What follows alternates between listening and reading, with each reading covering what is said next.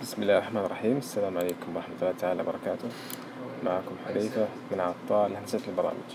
اليوم إن شاء الله راح نشرح مهمة جدا بسيطة وهي مثلا يعني لنفترض إنه مثلا عندك الجهاز الخاص بالدفع عن طريق الكرت إنه فيه مشكلة وما بيعمل connecting مع برنامج نقاط البيع أو system ال POS يعني.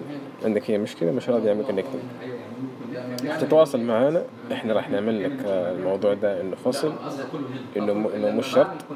تمام؟ اللي راح تسويه أنت طبعا الآتي. نفترض مثلا يعني نفترض إنه هذا هو الجهاز. تمام؟ الجهاز الآن أمامك. أنت راح تكتب فيها السعر. ايا كان اللي حيدفع لك العميل منها آه اللي هو الكرت 200 ريال 300 ايا كان. حتسجلها هنا. تمام؟ تسجيل يدوي. وتسحب المبلغ من من من بطاقة العميل تمام؟ وترجع له البطاقة. حلوين؟ انتهينا إحنا من هذه النقطة. النقطة الثانية اللي حتسويها مثلا وليكن مثلا أنا حبيع الآن أي صنف. تمام؟ الآن مثلا أنا ببيع الصنف هذا. تمام؟ أو عدة أصناف. ونزلت مع الفاتورة عندي. فأنا أبغاه القيمة اللي عندي هنا شايفين قدامي هنا أبغاه ينزل في الكروت.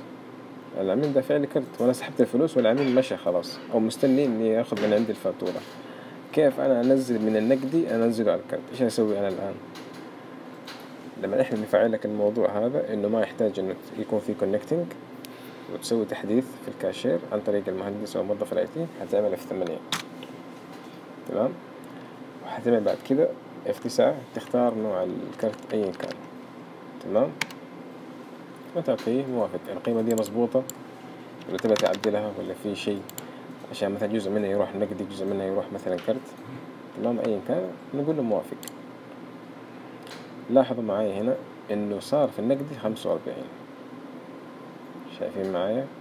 وراح النقدي ثلاثمية لأن حددته. بعد كده أحفظ الفاتورة وأتبعها إن شاء الله تعالى وبكذا الله انتهينا هذا التوتوريال البسيط. المختصر.